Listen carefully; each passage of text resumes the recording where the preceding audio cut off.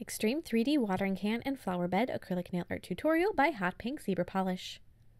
Hi everyone! In today's video I'm going to be showing you an extreme 3D watering can that's over a little bed of daisies and the daisies themselves, the flowers are very very simplistic, they're very just kind of cutesy and easy and then the whole watering can is just a nail that is just kind of I don't know, fun and spring, and we're finally, where I live, getting a little hint of spring.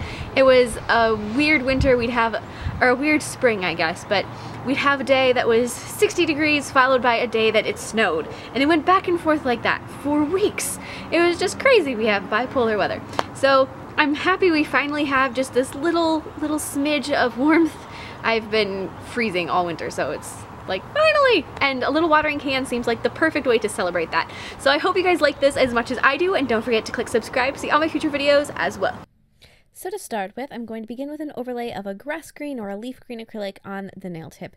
This is a very short little nail. Um, I guess not very short. Uh, my own natural nails are significantly shorter, but it's not very long. It's just a cute little nail. And then encase the nail with a layer of clear acrylic. A lot of these crazy 3D nails are uh, the pouring style nails that I've been doing recently have been on like a stiletto or a long almond shape. So this one is just on a little round nail, so it's kind of a different, it's just kind of different. Like I said, I wanted to keep it really kind of cutesy, and so then I'm going to be filing the nail into shape. I started out with a pretty coarse bit to remove any bulk, and then a much finer bit just to refine the surface texture, and then taking a really narrow bit, you're going to want to create a hole past where the nail bed is, but uh, right kind of as close to the middle as you can get it. And then with uh, some silver acrylic around a straw, you're going to need to be sculpting out your watering can, the, the base of it. So just create a nice little band going around the straw. While that is setting, you can go ahead and make the other parts of the can that you need. So you're going to need to make the handle, the spout, and then the little sprinkler head. So the first thing I did is I made the spout. So just kind of play around with, uh, with your silver acrylic. You want it to have a nice angle on it for where it attaches to the can, but then it kind of needs to taper. These are just the beginning parts of it. For this, uh, the sprinkler head, you just need a circle and then create a little C shape for the handle. On your sprinkler head, once the acrylic starts to set, which as you can see I tried and then it just morphed right back together, you need to poke five holes in it. So a one in the center and then four that go around it. These holes are very important because they're what attaches your wire to the nail and it's kind of the key to keeping this whole thing together. After you have your little silver your little silver cylinder off the straw, then you're just going to file the ends of it so they're nice and straight. And then glue your spout and your handle to the to the can. You can file the edge of the spout that glues onto the can to make sure it's at the right angle if it was a little bit a little wonky. And then taking some nail glue, which I know I'm a little bit off camera, but just glue that onto the can. Just hold it in place. It shouldn't take too long. I like to, I love using tweezers to pick things up. My own hands just don't grab these little things. They try, and I usually end up just getting mad. So if you have tweezers on hand, I would highly recommend. They're one of my favorite nail art tools because I find them just so incredibly helpful. But glue your spout on one side and your handle on the other, and then glue a piece of wire coming off the spout. So on the back side of the spout, the flat side, just glue on the piece of wire. Then secure your all your stuff because those pieces are so thin and so delicate. You need a lot more silver acrylic. So just add another layer of silver acrylic to the front and the back of the spout and the handle and kind of blend them into the can so they're not so, like the edges don't look so awkward. Just kind of smooth it out, make it look like it is actually a piece. And then before the acrylic sets on the on the spout, take your little sprinkler head and string that down the wire through the center hole and then secure your spout or your sprinkler head and your spout together with some more silver acrylic, being careful not to plug the little holes that you made in the sprinkler head because those are very important in making sure that your wire will attach to your sprinkler. And like I said, I'm going to be adding a second coat or a second layer to the front and the back side of the handle as well. This is like so important for making sure it's not just going to break. Then add a make a circle of acrylic, silver acrylic on a nail form backing and set your sprinkler or your your can to add the bottom to it and then do a half circle for the top of the can so that when you're pouring the water it doesn't just fall out the top of the can so they have like that little little guard on them. So make that with a little half circle of silver.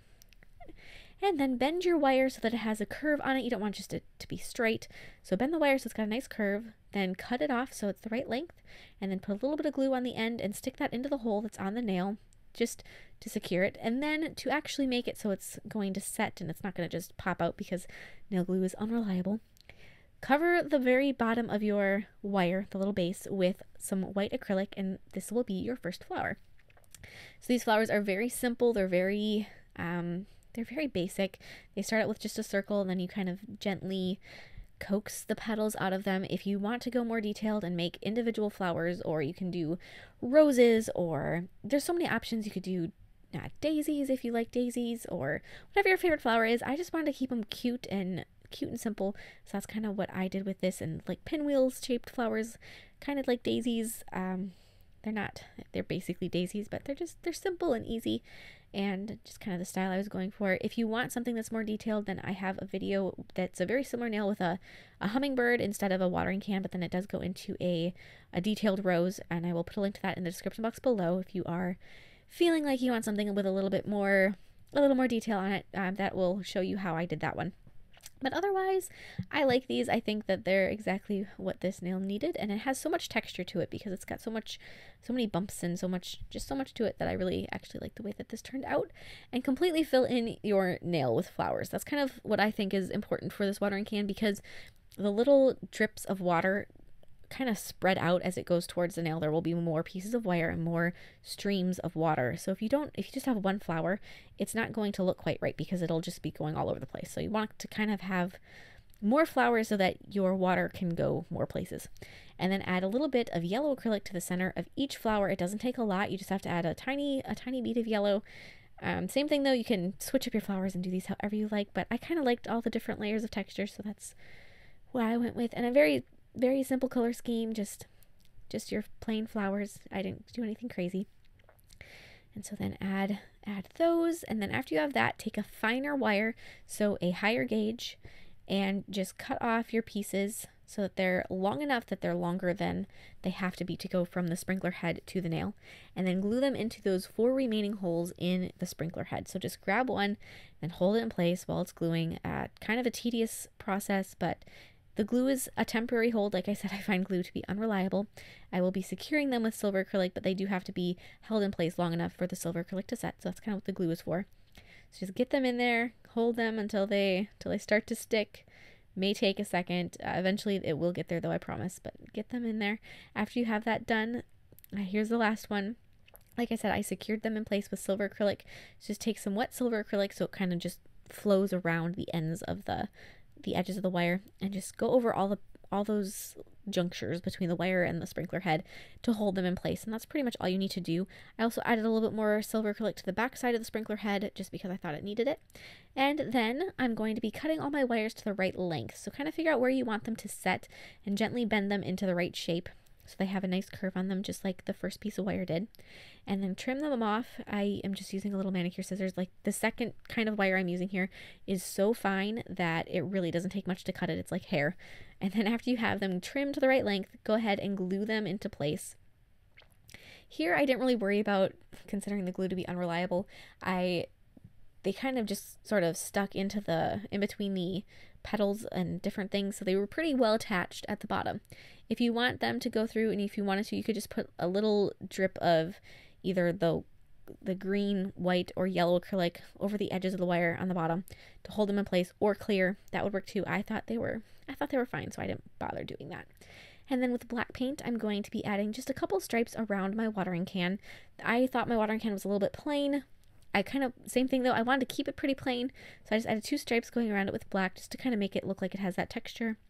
Some of them have like a riveted, a riveted appearance on them, so that's kind of what I was going for. Um, I do though, personally, I have some gorgeous watering cans that uh, my grandmother or great grandmother has painted. If you wanted to, you could really make your watering can detailed and go all out. There's some pretty crazy ones. Uh, the one that I currently have in my house is a flamingo shape, so options are pretty limitless here. I went classic. After you have that, I also added some black dots on the sprinkler head to make it look like it does have the holes, and then add little white highlights on your flowers just to brighten them up. The green kind of shows through my white acrylic, so I wanted to make sure that you could really get the nice bright white flowers. So I added a little a little stripe of white on each petal. It doesn't take much to do, and I really think that it makes them look a lot more dimensional and show up from the background and just kind of brightens things, which since I like I said we finally have no snow left, uh, brightening things up is always a good thing. And then I'm going to be applying a layer of gel sealer over the nail and over the watering can and curing that. When you're curing it, kind of tip the nail back and forth from side to side to make sure that every area that has gel sealer on it is getting hit by the light and is curing. And then take some blue one step gel polish. A nice shimmery blue is a great one to use, and add drops of it on the pieces of wire. So as you can see, I'm just have it on a little brush and I'm basically just dabbing it onto each piece of wire. That's going to create the little water drops to make it look like it's got little drips of water coming out instead of a full stream. And then after you have that, like I said, a one-step gel polish is key here because you don't want to have to apply top coat. Cure that, and then that is all done. You have your little sprinkling water over the nail. The silver wire basically disappears and you just get those little drops of the shimmery blue. It looks I love the way those little water droplets turned out. I think this nail is just adorable. I hope you guys like it as much as I do, and please share any recreations with me on Facebook or Instagram. I would love to see them, and I will see you in my next video. Bye!